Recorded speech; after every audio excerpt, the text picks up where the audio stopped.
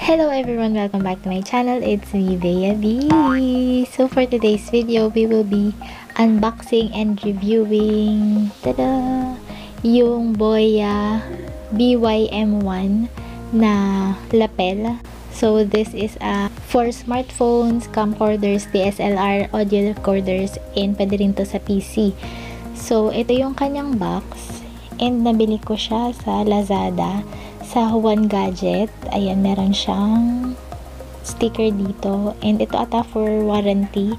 Then, on this side, nakikita mo yung kanyang code, yung BYM1 na microphone. Then, nakalagay yung pwede siya sa smartphones and etc. Then, on the back is yung kanyang specification. And sa gilid, ganun ulit. So, buksan na natin. Nandito siya sa isang lalagyan. Ayan. Then, meron dito syempre yung warranty card and yung guide. Ayan. Yan yung itsura niya. May nakalagay ding boya. Then, yung laman ng pouch niya is yung condenser, yung 6.5 na adapter, yung battery, ang battery niya is parang kagaya nung sa mga relo. Yan. And yung kanyang pinaka-clip. Yan. Then, syempre yung ating, ang haba pala niya as in, ayan yung lapel. Ang length nito is 6 meters I think. Yeah, yung cable niya is 6 meters. So, kahit malayo ka, okay lang. So, yun yung pinaka-advantage nito compare dun sa mga shotgun na microphone. Ito yung pinaka-lapel niya. So, lagyan na natin ng condenser.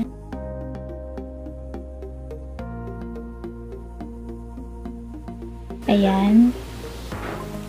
Then, ito yung kanyang pinaka uh, function button. So, may nakalagay dito na for camera and for smartphone yung off. So, dun na sa camera. Then, meron siyang clip sa likod.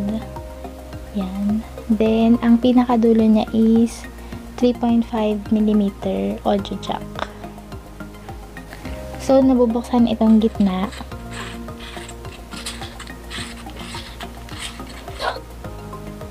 And dyan nilalagay yung battery. So, lagay na natin.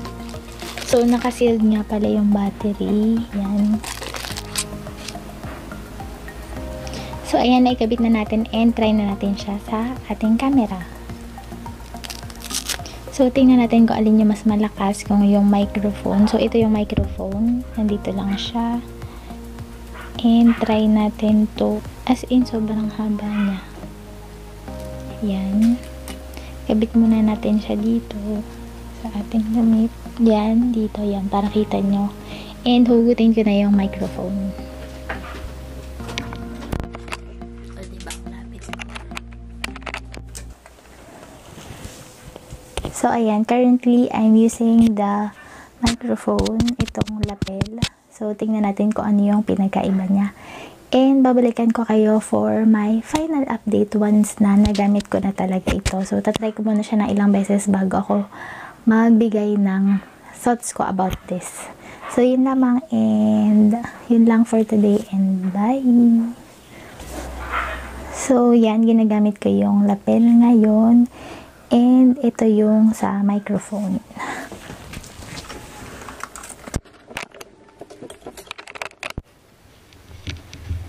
So, ginagamit ko is yung microphone. So, I'm currently using my phone and ito yung kapag walang external microphone. So, try natin na lagyan siya ng headset. So, ito yung naka-headset na malapit sa ito, nandito siya sa loob ng aking damit. And tinignan gusto kong kasing makita kung meron siyang difference doon sa boya na lapel. So, tinatry ko siya. So, ayan. I'm currently using the lapel. And binilhan ko siya ng ganito, no, parang fur. Tinitingnan ko kasi kung anong difference niya dun sa isa. Pero ito kasi meron siyang an active noise cancellation or yung mga kapag uh, windy or something, nakakatulong siya to lessen. Kasi napansin ko medyo garalgal or I, I don't know kung Tagalog word ba yun o dito lang sa amin. So, naisip ko na bilhan ko siya nito. Tinitingnan ko kung alin yung pinakamaganda na quality. So, ito siya. Then, tatry ko naman natanggalin siya and gamitin yung isang uh, windshield. So, ito naman yung lapel kapag wala siyang kahit ano na nakalagay, just the lapel. So, just in case na mas maganda ito kaysa dun sa headset, I'll be having siguro some tips para mabawasan yung noise or kung gusto nyo na nakatago siya na ganyan para hindi siya mahalata. So, comment down below kung gusto nyo ng ganon. So, ito yung walang kahit ano sa lapel. So, ito naman yung gamit lang yung binigay na um, parang condenser or yung shield. Ayan. Hindi ko alam kung ano yung difference pero check ko muna, edit ko muna din saka ako magbigay ng final thoughts.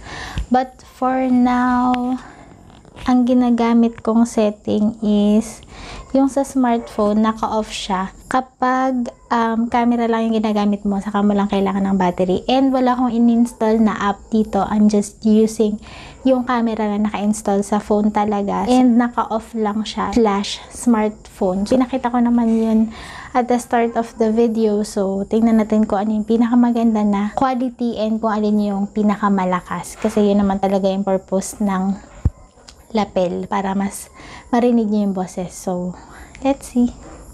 So, for my final thoughts about the lapel, so I'm currently using it without anything and nakakabit lang siya dito.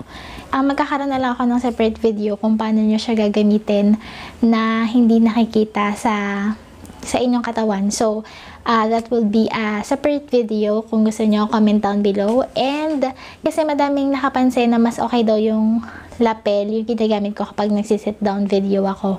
So, ang napansin ko lang dito sa lapel na to, so this cost for 549 pesos. In comparison with the lapel and the headset of our phone, ang ginawa ko kasi is ginamit ko yung phone instead of camera kasi usually naman mas madaming gumagamit ng phone kesa sa camera. So, tinest out ko siya para in case na lalabas din ako or magpa-vlog ako sa labas is uh, ma-test out ko kung ano yung best quality niya. So, in comparison with the headset and the lapel, yung sound kasi ng headset, medyo nakakanipis siya ng boses. So, yung boses ko medyo manipis na siya And kapag naka-headset ako, mas manipis siya. So, kapag naman gumagamit ako ng lapel, syempre, mas bukod sa mas malakas yung boses ko, is mas okay yung quality niya. Parang, hindi niya, parang kasing pa-chipmunks na. Alam mo yun, pa-chipmunks na yung quality kapag headset. And mapapansin nyo naman yun on the previous clips na pinakita ko sa inyo.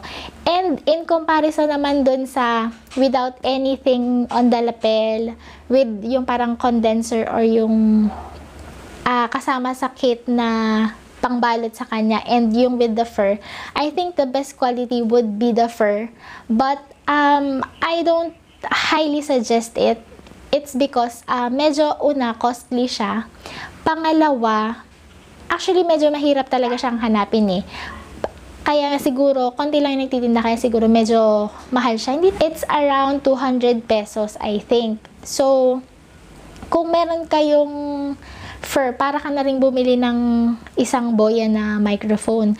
But anyways, yung kaibahan kasi niya is una, mas malakas siya kasi na, nasa katawan mo lang siya in compared dun sa shotgun na mic.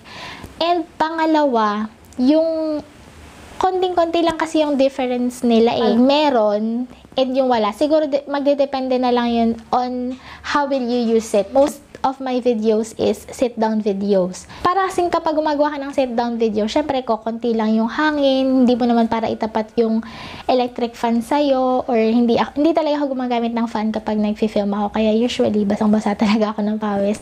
But anyways, yun kasi yung parang uh, magiging edge lang nung fur. It's just that hindi masyadong garalgal, o hindi masyadong naririnig yung movements mo. Kasi, di ba, nagkikiskisan yung damit. Pero meron naman akong tips paano malilesen yung sounds na yon without buying the fur. So, kung gusto niyo ng video na yon comment down below and I'll do a separate video for that. But for now, overall, um, mas maganda yung quality and worth it namang bilhin yung lapel. So, sana nakatulong sa inyong video na to, especially sa kagaya ko na mga bago pa lang sa dito sa YouTube industry and yun. Yun, sana nakatulong sa inyo and sana nag-enjoy kayo and pagpasensyahan nyo na nga pala yung mukha ko doon. And don't forget to like, comment, and subscribe. And also hit the notification bell if you haven't already. So this is me, Bea, signing off, reminding you to be a believer of your own beauty and be a blessing to everybody. See you soon on my next video. Bye!